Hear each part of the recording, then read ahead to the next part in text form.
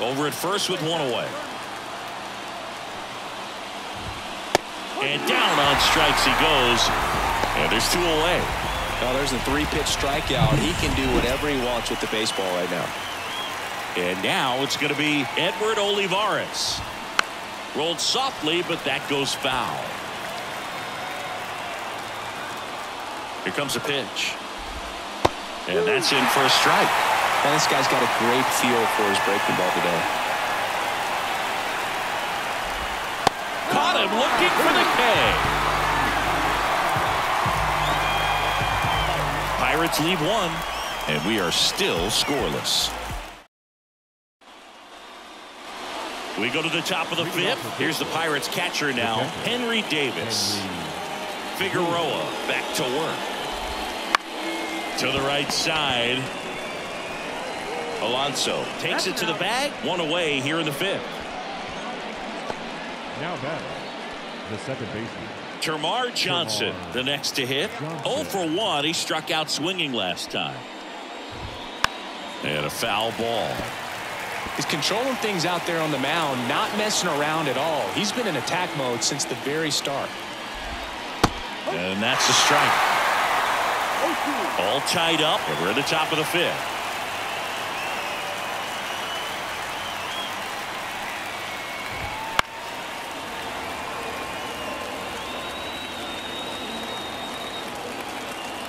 Right-hander kick steals.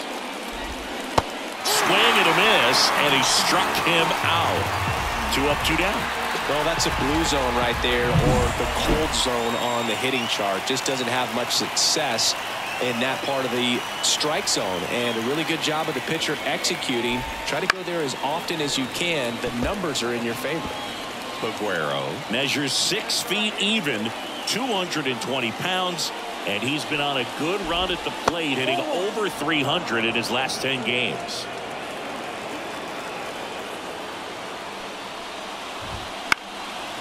Swing and a pop-up. Foul territory for the catcher. He makes the grab, and that is that. Down in order go the Pirates, and we're still knotted at zero. Top six. Now batting Ke'Bryan Hayes. Figueroa back to work. That misses. And it's 1 to 0.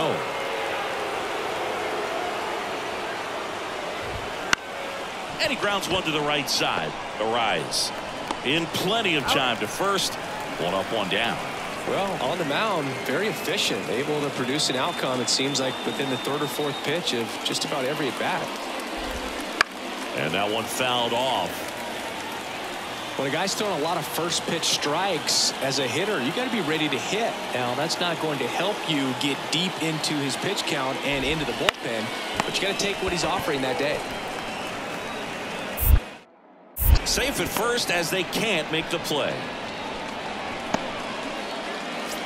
So up next, Bryan Reynolds. And look out. That one gets him. The second man he's plunked in this one. That's a scary one when it's riding up above the letters. Looked to me like he just tried to overthrow the fastball a little bit. And that one clips the corner. The last thing he wants is to hit the ball on the ground, but I wouldn't expect many pitches up in the zone. They'll be pitching for a double play in this spot. And a swing and a miss. That's second out. Well, they've had a great plan of attack for him tonight. I mean, finding all the holes in his swing and his approach, just frustrating for him up there. You strike out a guy three times in a game, I think that guy's got to go back and really study some video with his hitting coach, figure out how they're beating him, make this adjustment really quick because word will get around the league in a hurry. Two on, two outs. Struck him out looking.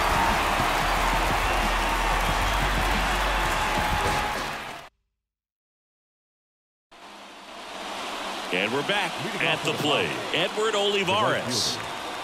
And the pitch. Olivares. And that one fouled off.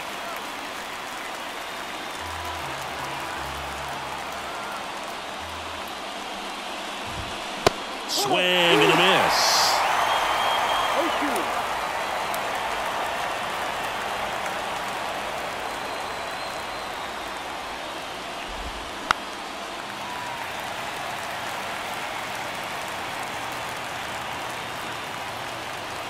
Looking to get the tying run on base. Gets a piece there. We'll do it again. He's gone off speed. He needs to elevate here with two strikes out of the zone. Cuts and misses. It's a strikeout. A big performance on the mound. Lots of strikeouts. That was number 14. Yeah, clearly trusting his stuff in this one, Boog. Feeling really good about what he's working with, and that really allows a guy to attack hitters. You know, such an important mindset to have out there on the mound, especially when you're ahead in the count with two strikes. And he swings through that one. Well, that's that slope right there. He threw it extremely well. You're about just a ton of breaks. So tough to get that barrel to. Got him looking. And two away to start the seventh. It's almost like he's telling the guys in the bullpen, stand down, I got this. Termarr Johnson will hit next. That one finds the zone. And that is strike one.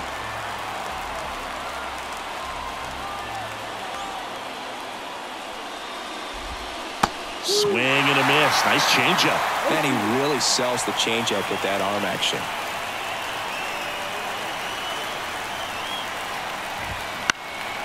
Foul ball. It stays nothing in two. And a pitch. Fights that one away, and the count remains 0-2. Holding on to a one-run lead here in the top half of inning number seven.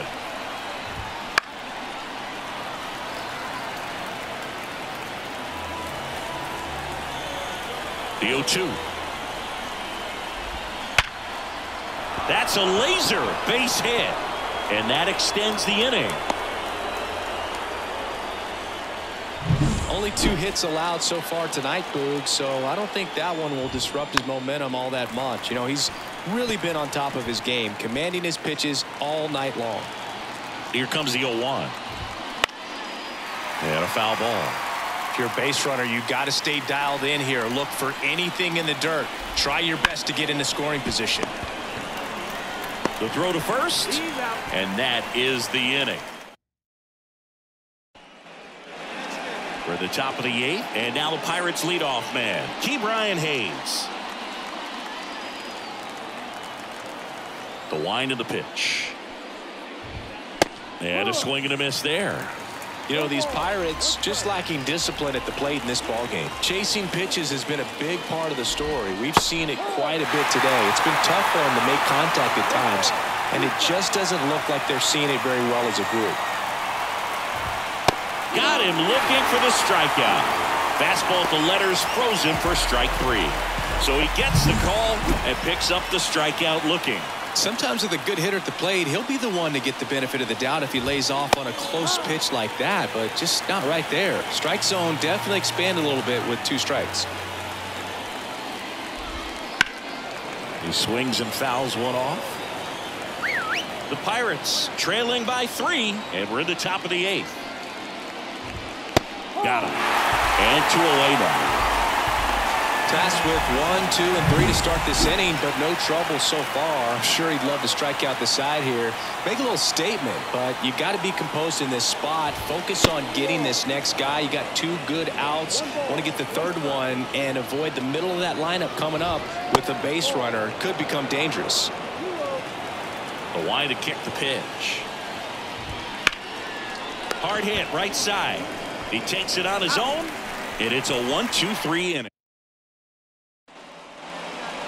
All set to start the ninth in this one. At the plate for Pittsburgh, Jack Suwinski.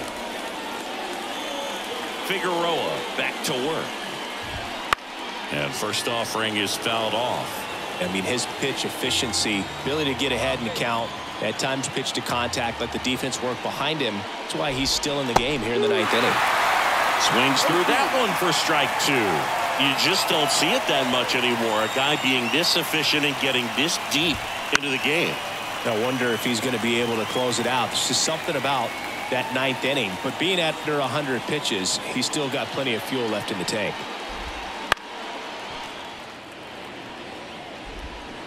Swing and a miss, and he got him. And a strikeout for the first out here in the ninth. He's two outs away.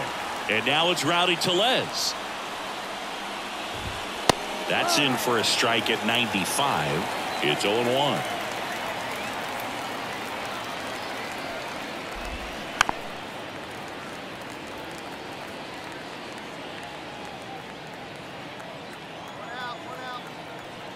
And a pitch. Into center. Drifts towards it. Pulls it down and he makes the catch. Two down. Last chance now for the Pirates. Up next for the Pirates, Edward Olivares. Three strikeouts already. He's 0 for 3.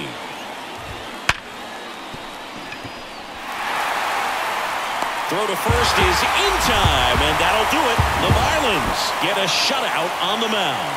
Terrific job in this game. He scattered two hits and pretty dominant. Efficient with his pitch count. Got himself all the way finish line and